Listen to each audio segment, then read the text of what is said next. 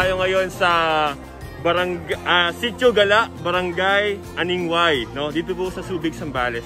So kasama ko po ang Quiapo team.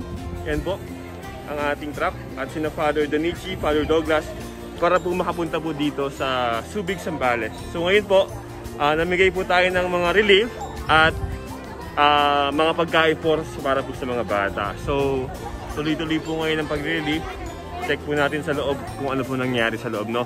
Yung patuloy nating pagtulong. So maraming salamat po sa lahat ng patuloy na sumusuporta sa Quiapo Church.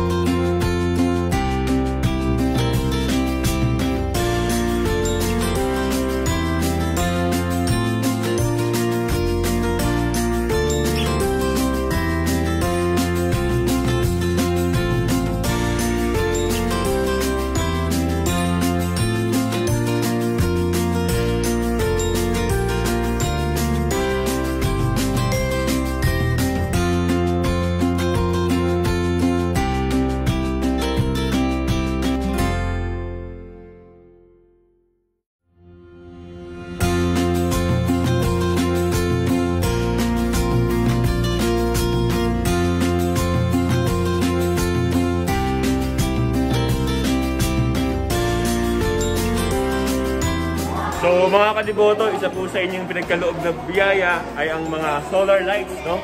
So hindi lang pagkain at relief, kundi may mga solar panel tayong ibibigay po sa mga katutubo.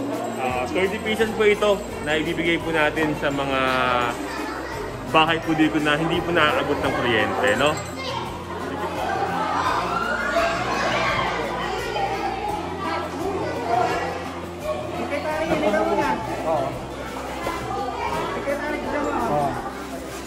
Tapos may battery po sa na, na, nasa isang tapos.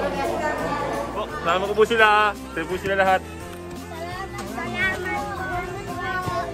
Yes po. Thank you po kaya po Church. So, ayan po sila ngayon. Lunch time na. Mga busog na sila. Ayan.